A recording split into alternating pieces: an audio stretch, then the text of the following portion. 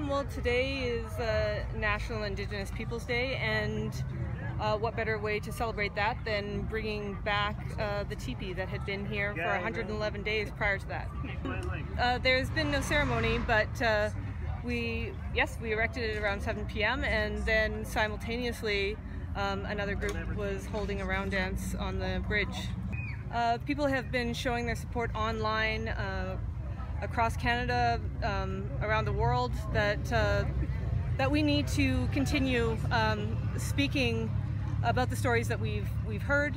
Uh, we need to continue being here where people can find us, um, and that we have the support of a much larger community than we realized.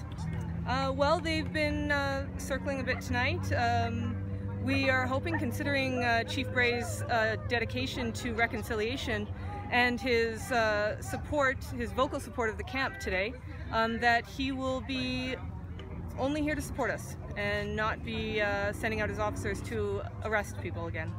Um, our conflict isn't necessarily with the police. Um, we are here to stay um, as long as there is a need for us and there's support to back that up.